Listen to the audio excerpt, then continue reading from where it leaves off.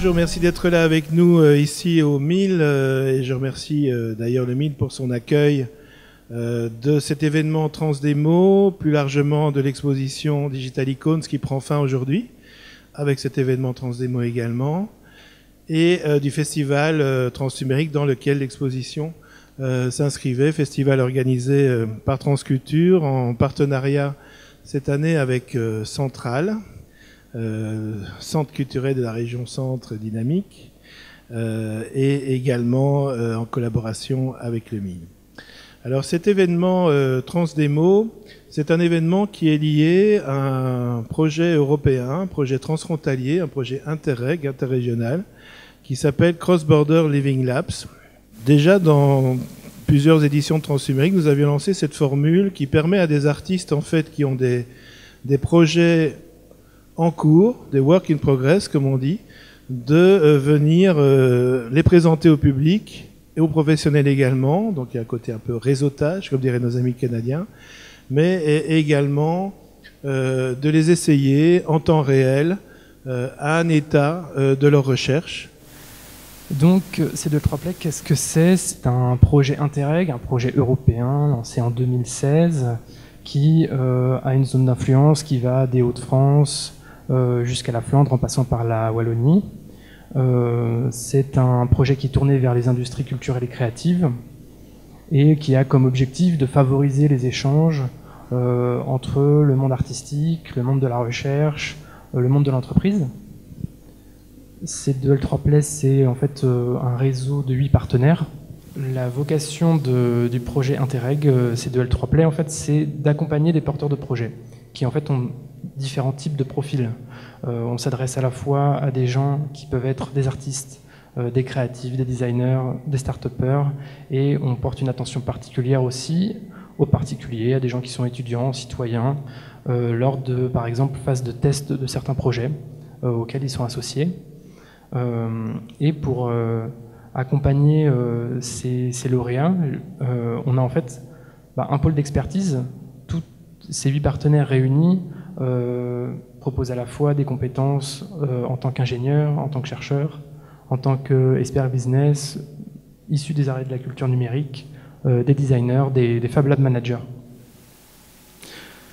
Donc, comment ça se passe concrètement l'accompagnement? Tous les 4 à 6 mois, le réseau lance un appel à projet sur des thématiques qui relèvent des industries culturelles et créatives.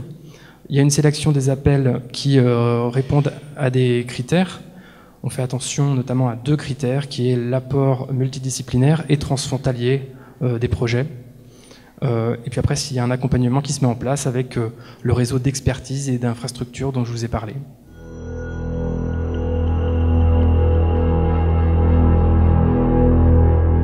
Ce qui m'intéresse, c'est la danse, mais en dehors de la scène. Donc à partir de 2014, j'ai fait des projets dans des musées où on devait justement faire des déambulations avec les danseurs pour visiter le musée sous un autre angle. Travailler avec des lampes de poche dans le noir, donc travailler sur la lumière, la spatialisation. Donc on va dire Ocus Pendulum, ça a démarré euh, il y a peut-être un an, Jean-François, je ne sais plus, plus ou moins un an. à la base, c'était entre guillemets, j'ai démarré hors projet. Je voulais juste faire une expérimentation visuelle avec les éléments que je maîtrisais. Et de fil en aiguille, on s'est retrouvé au Culturaton du Louvre-Lens-Valais, où on a gagné le premier prix. Euh, et, donc en fait, ça a donné un peu euh, une dynamique au projet en fait. Donc grâce au Culturaton, euh, on a eu deux types d'accompagnement via l'UPHF, Lisa est là, et May aussi, que je dois remercier parce que leur travail sur justement une fameuse masse d'informations autour des expériences muséales dans l'histoire des musées, et du Médiar aussi parce qu'on va aussi travailler sur un aspect beaucoup plus technologique qui serait de créer une lampe de poche très intelligente avec des capteurs pour pouvoir justement faire euh, une euh, géolocalisation du public quand il se balade dans un musée en fait et en même temps avoir une interface euh, artistique pour le public. Donc voilà. Donc on est entre la performance, le vidéo mapping et l'expérience utilisateur.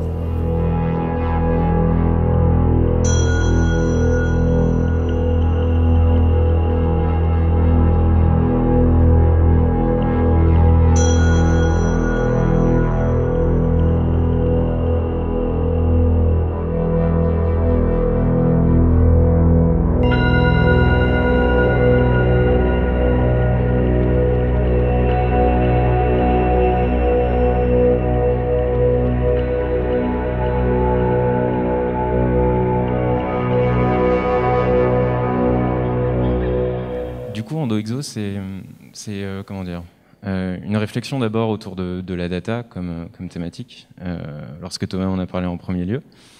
la volonté, au-delà du, dispositif en rapport avec la thématique, c'était de, réfléchir à l'infiniment grand à travers l'infiniment petit, à travers l'utilisation de data qui soit en libre service et qui, qui ne tombe pas dans, dans, ce réflexe de la technophobie. Donc la réflexion était vraiment de se dire est-ce que la data peut être utile Et au-delà de son utilité, est-ce qu'elle peut nous procurer des émotions euh, Donc j'ai entamé ce travail-là en, utilisant des données de, la NASA qui sont en libre service. Euh, euh, j'ai travaillé avec un astronome amateur, Laurent Braguien de son prénom, autour du choix d'exoplanètes. ces exoplanètes, nous, nous sommes amusés à, replacer leurs coordonnées célestes dans un espace, dans un espace euh, donné, donc un espace physique. le principe de l'installation, c'est une narration immersive et audio dans laquelle en fait vous vous déplacez pour aller découvrir ces exoplanètes-là. 136 km per second. 1,9 Jupiter radius. Ces exoplanètes vont vont vous parler, vous donner euh, tout un tas d'informations sur elles-mêmes. Et, euh, c'est ce, voyage interstellaire, intergalactique, euh, que nous avons essayé de, mettre en, j'allais dire en image, plutôt en son, durant ces quelques semaines de, travail avec Thomas et avec, le clic. c'est une expérience qui se fait seule, qui de préférence se fait dans le noir, les yeux fermés ça peut faire peur de prime abord. Mais euh, c'est un parcours vraiment intéressant et euh, euh, je pense que moi qui suis compositeur et sound designer, donc qui a plus l'habitude de travailler avec de l'image, pas pour la première fois, mais on va dire pour la première fois de manière interactive et immersive, ça a été la possibilité de scénariser quelque chose avec ce seul média. Je suis en fait plasticien, je suis de Courtrai, euh, et j'ai étudié à Gand la nouvelle média. Mais comme vous allez voir dans les photos qui vont venir, euh, il n'y a pas beaucoup d'ordinateurs visibles dans mon, dans mon œuvre. Comment moi je travaille, je suis quelqu'un qui, qui travaille toujours très personnel. L'histoire personnelle, c'est mon moteur, c'est là où ça commence. Ça ne veut pas dire que c'est au bout du travail que c'est très euh, apparent, mais c'est toujours des idées, des sentiments, des histoires propres qui me motivent de, travailler sur une œuvre. Mais par exemple, pour donner une idée, je travaille beaucoup sur l'installation où en fait les, gens, euh, leur physicalité fait une interaction ou un dialogue avec l'œuvre. Il y a quelques lignages dans mon œuvre qui, qui, sont souvent là, comme l'architecture, c'est un. Euh, la maison ou la maison ou le, bâtiment ou le, il y a le ressentiment, quoi? Oui. Et le dialogue entre ça, et souvent là, les installations, j'avais dit. Aussi, l'urbanisation, c'est quelque chose qui est plus en plus euh, actif dans mon euh, research et la psychologie qui entoure de ça.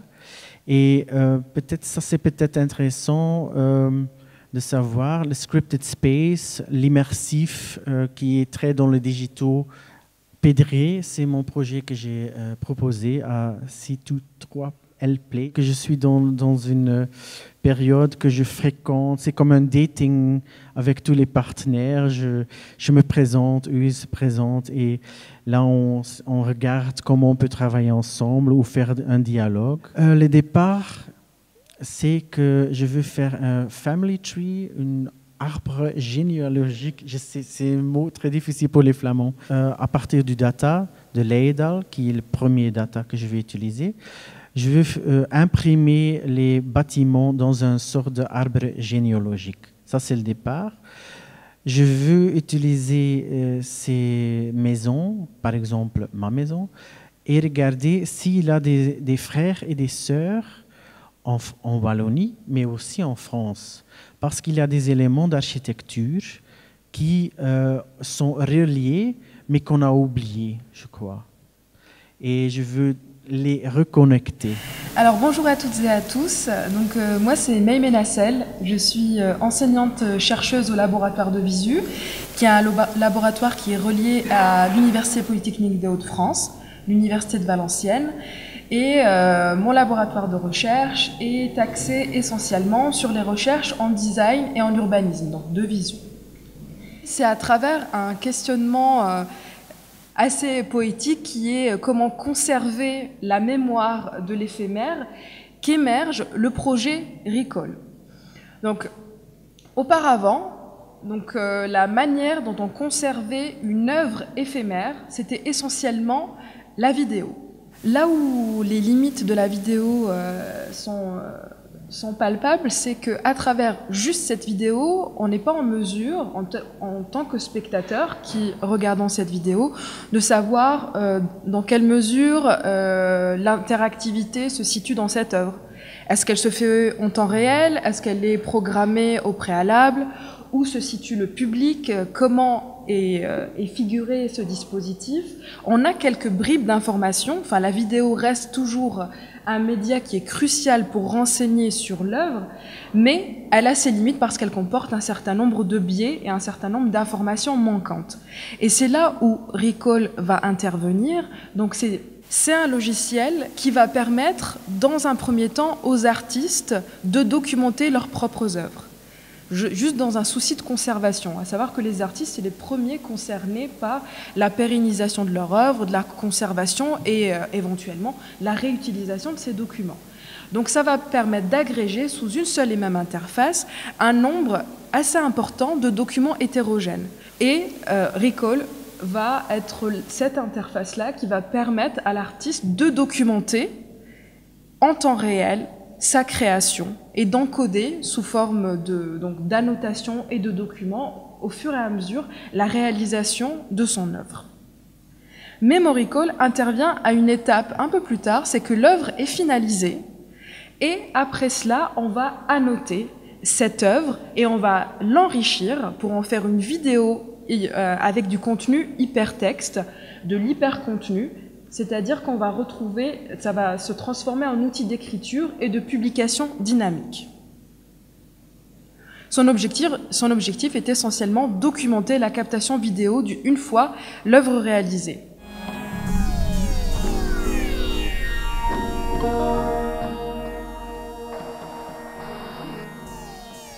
Et ici, l'idée c'était plutôt de s'interroger sur quels sont ces nouveaux modes, ou parfois pas si nouveaux que ça, de réappropriation et d'hybridation d'une image pré-numérique, numérique, voire post-numérique, comme on dit, avec l'intégration maintenant du numérique à l'intérieur des formes artistiques, sans nécessairement d'ailleurs qu'il soit mis en avant.